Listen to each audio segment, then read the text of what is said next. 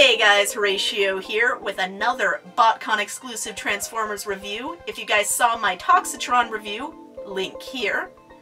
We were not able to go to BotCon this year, but fellow Bay Area Transformers nerd Seth Buzzard from the WTF at TFW podcast hooked us up with three awesome, awesome exclusives.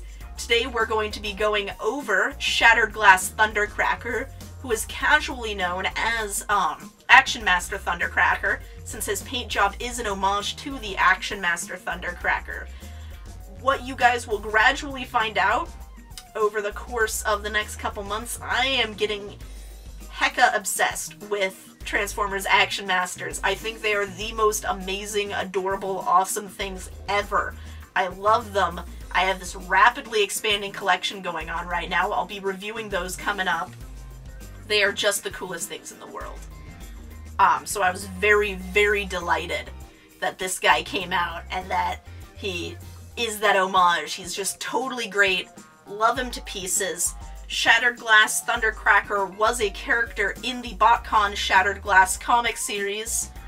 Um, an interesting point, last year at BotCon 2010, Shattered Glass Thundercracker was going to be the attendee freebie figure, but Hasbro was currently using the mold, which was originally the classic Starscream mold. They were using the mold for Generations Thrust, so it was unavailable, so he was put on the shelf and then available for purchase, packaged with Gal uh, Shattered Glass Galvatron this year at BotCon.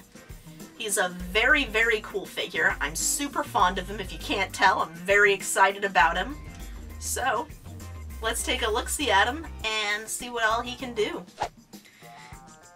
And here we are with Thundercracker in vehicle mode. You can see he's very, very pretty. Very brightly painted. If we flip him around, you see a lot of his robot parts showing through. Let's bring him up close. So Thundercracker has a lot of very, very nice molding. Get a glare on there, you can see all of the molding that's in there. And unlike a lot of molds, this mold has been used mm, well over 10 times, around 11 times in the United States alone.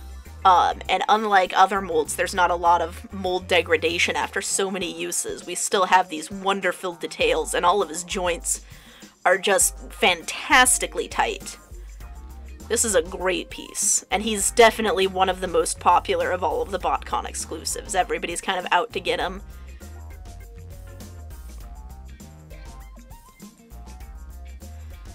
Flip him around and get a good look. On the bottom, we see his missile launchers right there.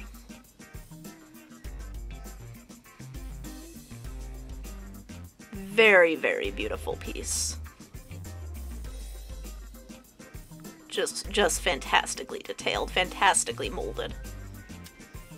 So now that you've seen him up close, let's go ahead and get him transformed into robot mode. And here we have him in robot mode.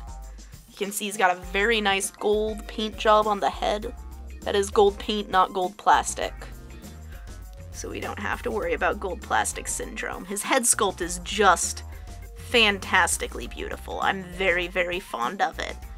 And all of the, the molding, as I pointed out when he's in his vehicle mode, is just gorgeous. Another clever detail is his Decepticon logo. The logo is just the white outline, leaving the red underneath to indicate he is shattered glass. But they didn't have to add red paint there. He his missile launchers on his arms. Let's take a look at him from behind. See all those details. Um, one thing to point out is that owners of Henkei Thundercracker from Japan will remember that there was an issue with its legs being very loose. That issue has clearly been resolved with this guy. His leg joints are nice and tight. Uh, the only one issue that we've noticed on ours is there's kind of a seam split going on right here. And if you flip him up, I'm not sure if I'll be able to get it, you can see that right here The seam split goes all the way through into the blue part that tucks down inside of his leg. So it's likely an assembly problem with ours and not an issue of mold degradation. Worth pointing out though, so nobody's seeing that going, ugh. But he is just fantastically gorgeous. He's got very nice little bit of gold paint right in here on these uh, blade, rotor blades, propeller blades right there. Very nice, the clear plastic. All of the details are just gorgeous, and for comparison's sake, we'll take out Classics Thundercracker. You can kind of share right here, you can see where the paint differs. Exact same mold. Exceptionally beautiful, though.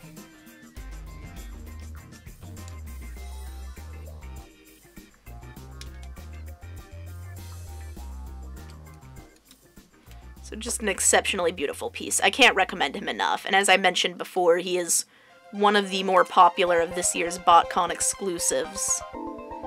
So he will be worth trying to come by quickly, because a lot of people are going to be trying to get him into their collection.